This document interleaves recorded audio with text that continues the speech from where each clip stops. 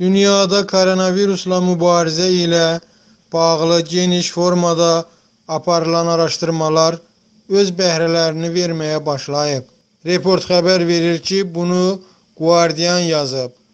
Məqalədə qeyd olunub ki, Çində aparılan iki araşdırmanın nəticəsində xəstəlikdən sağalan 2 nəfərin qanından əldə edilən plazmanın COVID-19-un müalicəsində yararlı olacağı qənaətinə gəlinib.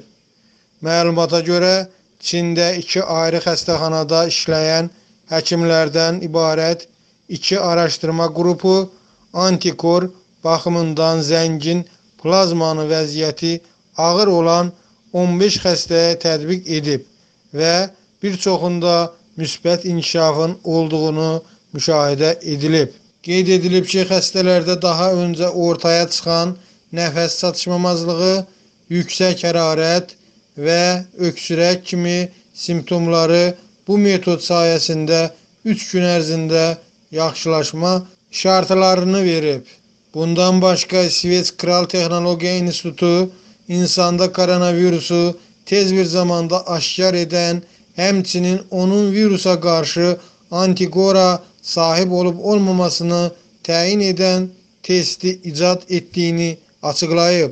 Ümid edirik ki, etik yoxlanışlar komissiyası bu testi təsdiqləyəcək. Apreldə gündə 7000, mayda isə 14000 test edə bilərik. Xatırladaq ki, koronavirus infeksiyası ötən ilin dekabrında Çinin Wuhan şəhərində yayılmağa başlayıb.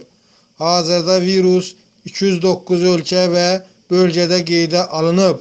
Dünyada koronavirus infeksiyasına indiyədək yoluxanların sayı 1 milyon 523 mini ötüb.